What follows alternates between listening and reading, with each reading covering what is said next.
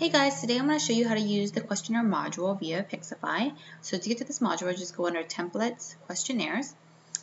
And when you get here, you're going to see two tabs. One's going to be the questionnaire tabs and one is going to be the questionnaire templates tab. The questionnaires tab basically shows you all the questionnaires that you have sent out or set up per client. And the templates tab is where you would set up your questionnaires so that way you can attach it to a specific client or send it out to a client. So what you want to do is get into the questionnaires templates first so that way it makes it easier for you to send out questionnaires to all your clients. So as always, Pixifi makes it really easy for you to set up a questionnaire. You can use the questionnaire wizard. And basically you can take one of these templates and modify it for so it's your own.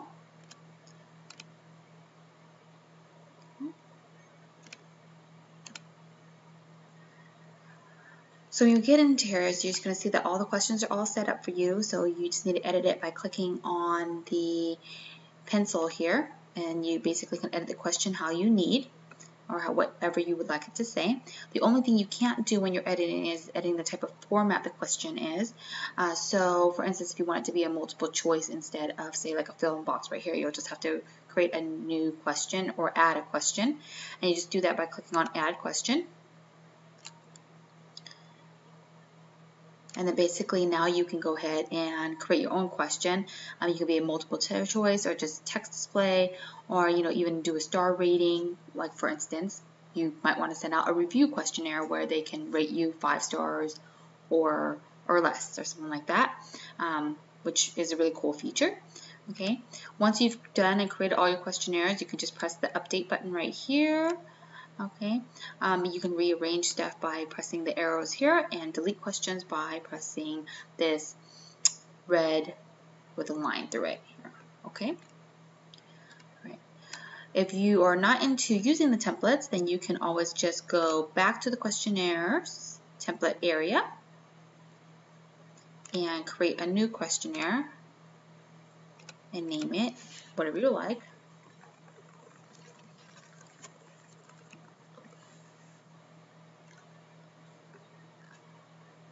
And basically it'll bring you back to that same screen um, that you saw previously before, except that there is no questions per field. You just have to create your own questionnaire. It's basically pretty easy um, to create one yourself.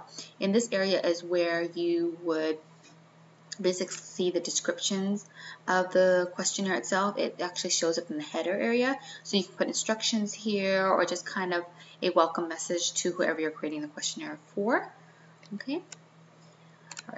So once you have your questionnaires all set up, you can attach it to your clients. So I'll just show you how you can do that here in the client module.